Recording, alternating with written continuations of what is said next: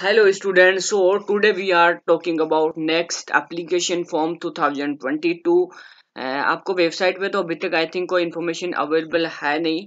और इसके application form कब रिलीज़ होते हैं आपके एग्जामिनेशन कब हो सकते हैं इसके बारे में डिटेल में डिस्कशन करेंगे। और इसके क्या क्या इंपॉर्टेंट फैक्टर्स हैं आपको why you are apply in this next application and other other more benefits about next E B S and other other okay so सबसे पहले अगर अपन बात करें नेक्स्ट एप्लीकेशन फॉर्म की तो जो नेक्स्ट एप्लीकेशन फॉर्म है, ये जो है आई थिंक आपका फरवरी लास्ट वीक ऑफ़ फरवरी के अंदर आ सकता है।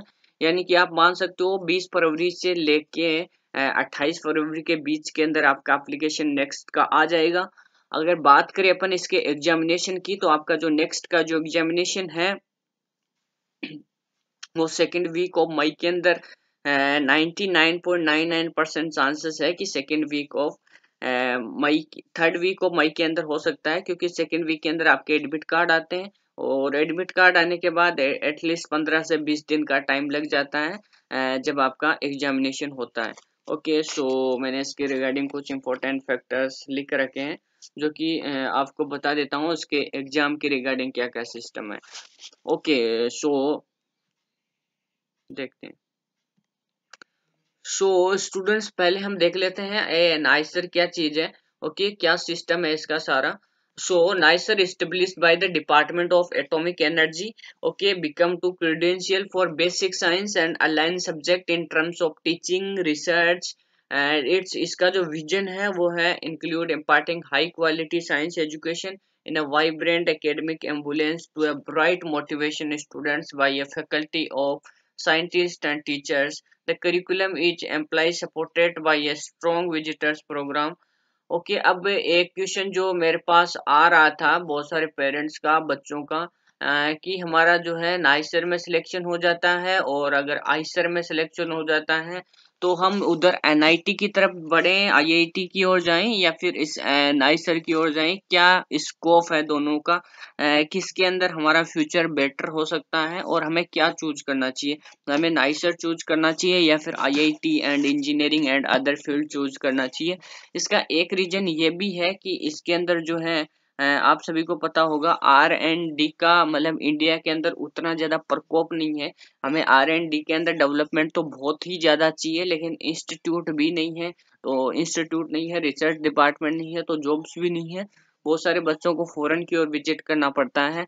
और अगर अगर अपन पैरेलल साइड अगर अपन इंजीनियरिंग की देखें तो इंजीनियरिंग के अंदर जो है जॉब्स तो कम है, लेकिन जैसे आईआईटी से अगर बच्चा बीटेक करता है एनआईटी से करता है तो उसको जो है जॉब अपॉर्चुनिटी जो है लोगों को बहुत ज़्यादा दिखती है। तो बहुत सारे पेरेंट्स बोलते हैं कि हम इसको अडोप्ट करें, जैसे कि नाइसर आईसर इसको अडोप्ट करें या फिर हम आईआईटी एनआईटी में एडमिशन ले, करें क्या? ओके सो आई अगर मैं पर्सनल ओपिनियन बताऊँ तो ये डिपेंड करता है बच्चों पे कि उसका इंटरेस्ट किसके अंदर है। अगर वो चाहता है कि उसको रिसर्च के अंदर कुछ करना है, देश का नाम करना है, कुछ बड़ा करना है तो वो जस्ट ऐसे इंस्टीट्यूट ज्वाइन कर सकता है। और ये इंस्टीट्यूट हमारे देश के लिए जन्नत है वैसे। ठीक है तो I personally recommended for you कि आप जो है ज्वाइन कर ले। ओके और आई थिंक वैसे आईआईटी के अंदर भी जितना रिसर्च नहीं होता, उससे तो ज़्यादा ही होता है रिसर्च डिपार्टमेंट और atomic energy and other other जो भी डिपार्टमेंट्स है, इसके अंदर अगर आपको लगता है कि हमारे देश को अगर हमें आगे बढ़ा सकते हैं तो आप ये कोर्सेस ये जो है इंस्टीट्यूट में एडमिशन ले सकते हैं. अगर आप नहीं लेते हैं तो ऐसा नहीं है कि वो एडमिशन नहीं रहेगा. यहाँ पर सीटें खाली बचेगी, ऐसा कोई इश्यू नहीं है. ठीक है कंपटीशन बहुत ही ज़्यादा है। इस यूनिवर्स के अंदर ये एक सिस्टम है कि आपको अगर एक अपॉर्चुनिटी दी है गॉड ने, अगर आपने उसको अडोप्ट नहीं किया है तो वो डायरेक्टली किसी दूसरे के पास चली जाएगी। तो आप ये ऐसा मौका ना दें और आप इसको अडोप्ट कर लें। ठीक है? फिर इसके जो एकेडमिक जो प्रोग्राम है, इसके बारे में सिलेबस एंड इसका एंट्रेंस टेस्ट वगैरह बारे में डिस्कस करते हैं। ठीक है? सो स्टूडेंट्स uh, ये जो है इसके टेस्ट सेंटर्स है नाइन्टी टू टेस्ट सेंटर्स है. आई थिंक इंडिया के ऑलमोस्ट स्टेट के अंदर टेस्ट सेंटर्स अवेलेबल है इसके चाहे वो राजस्थान हो पंजाब हो हरियाणा हो चंडीगढ़ हो सब जगह दिल्ली हो सब जगह नाइन्टी टू सेंटर्स अभी तक बनाए जा चुके हैं और ये डिपेंड करता है कि अगर जिस लोकेशन पे अगर सेंटर्स अवेलेबल है नहीं और वहाँ से भी अगर अप्लीकेशन आते हैं और अगर उसके आसपास में कोई सेंटर्स नहीं होता है तो ये डायरेक्टली जो है कांटेक्ट करके सेंटर्स बनाए जाते हैं। ओके और ऑलमोस्ट जो एग्ज़ाम है वो सेंट्रल यूनिवर्सिटी और जो भी बड़े बड़े गवर्नमेंट इंस्टीट्यूशन है, वहाँ पे आपका एंट्रेंस एग्ज़ाम कंडक्ट किया जाता है। और ये सीबीटी बेस्ड टेस्ट होता है कंप्यूटराइज होता है।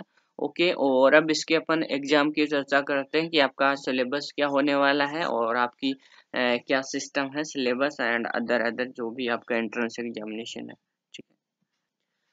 सो स्टूडेंट्स ये जो है सिलेबस वगैरह रिलीज़ किया गया है। वैसे ये पिछले साल का है इस साल का अभी ब्रोसर रिलीज़ हुआ नहीं है। आई थिंक 20 फरवरी के बाद में आप वेबसाइट को विज़िट करते रहे 20 फरवरी तक रिलीज़ कर दिया जाएगा। ओके okay, सो so इसके अंदर अगर अपन देखें तो यहाँ पे जो है इसका कुछ दिया गया है 2021 की मैं बात कर रहा हूँ अभी ओके सो ये नॉर्मल इंट्रोडक्शन है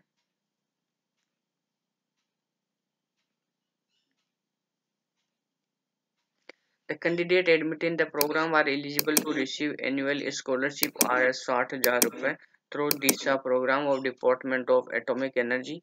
Government of India, in addition, the scholarship received receive a grant of 20,000 per annum for summer internship. Okay, ये बड़ी अच्छी बात है यहाँ की। सो so, सबसे पहले अगर अपन बात करें ऐसे इलिजिबिलिटी क्राइटेरिया की तो आपको इसको नहीं पढ़ना आपको मैं सिंपल भाषा में बता देता हूँ। इलिजिबिलिटी क्राइटेरिया का इसका ये सिस्टम है कि जो भी बच्चे हैं जो एटलीस्ट जो है जनरल कैटेगरी से हैं या फिर ओबीसी कैटेगरी से हैं तो उनके जो है ट्वेल्थ के अंदर एटलीस्ट जो है सिक्सटी परसेंट मार्क्स होने चाहिए। और जो बच्चे S C S T and जो भी लोअर कास्ट से बिलोंग करते हैं तो उनकी जो ट्वेल्थ मार्क्स है वो फिफ्टी फाइव परसेंट होने चाहिए। फिर है इसका डेट ऑफ़ बर्थ का इशू पिछले साल जो दिया गया था, वो था आई थिंक पेपर जो है अगस्त के अंदर हो रहा था तो वहाँ पे अगस्त दिया था। तो इस बार भी अगर अपन मान के चले मई या फिर जून या अगस्त तो इसका भी जो है एटलीस्ट पिछले साल जो दिया गया था 2019, 2020 और 2021 लेकिन इस साल भी 19 को इंक्लूड किया जा सकता है क्योंकि जेईई एडवांस ने भी इंक्लूड किया था। तो जस्ट आप देख सकते हो इसकी जो कंफर्म जानकारी जस्ट जो भी ब्रोसर रिलीज़ होता है, उससे ही की जा सकती है। लेकिन आई थिंक 99.99 परसेंट चांसेस है कि जो है 2019 को भी इंक्लूड किया जाएगा इस साल, क्योंकि जेई एडवांस ने भी एक मौका बच्चों को दिया है। तो ये भी एक मौका दे सकता है। गारंटी नहीं है, लेकिन चांसेस पूरे बन रहे हैं। ओके और स्टूडेंट्स जो बच्चे जो है S C S T and lower caste से बिलोंग करते हैं, उनका पाँच साल का रिलैक्सेशन दिया गया है। ओके यहाँ पे जो सीट्स अवेलेबल हैं, आप लोग देख सकते हो, उस सीट्स के अंदर 27 परसेंट जो है ओबीसी की सीटें हैं और अदर जो भी है सेंट्रल गवर्नमेंट के अकॉर्डिंग किया जाएगा एस सी की पंद्रह परसेंट सीटें अवेलेबल हैं। ओके और दिव्यांगन की पाँच परसेंट सीटें हैं। स्टूडेंट्स आपका जो पेपर होगा वो साढ़े तीन घंटे का होगा, ठीक है?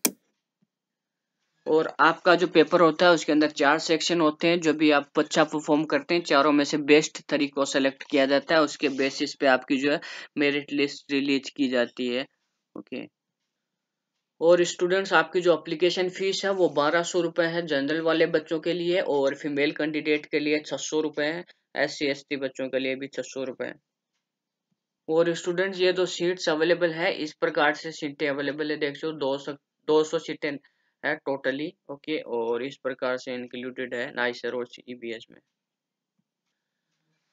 स्टूडेंट्स आपका जो ट्वेल्थ का सिलेबस होता है, उसमें से कुछ टॉपिक्स रिड्यूस कर दिए गए हैं तो मैं इस पीडीएफ का लिंक वीडियो के डिस्क्रिप्शन में दे दूँगा। आप अपना सिलेबस चेक कर ले, जो सिलेबस नहीं है, उसके ऊपर बिना काम की पढ़ाई ना करें, जो सिलेबस अवेलेबल है, उसको ही ज़्यादा से ज़्यादा पढ़े। और यार, फोड़ो, जचा के फोड़ो नेक्स्ट को और मचा दो।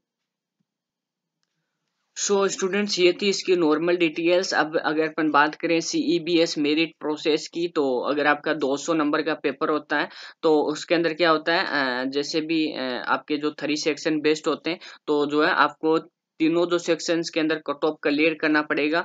देन उसके बाद में जो सेकंड प्रोसेस है, वो सेकेंड मेरिट जैसे कि अगर 85 पे मेरिट लिस्ट छुट्टी है या फिर 90 पे छुट्टी है तो फिर जो 90 प्रो 90 तो आनी ही चाहिए, लेकिन आप जो है तीनों सेक्शन के अंदर कट ऑफ़ भी क्लियर करने चाहिए। जैसे कि मान लो किसी पेपर की कट ऑफ़ दो नंबर हो, तीन नंबर हो तो इस प्रकार से ऐसा नहीं है कि दो में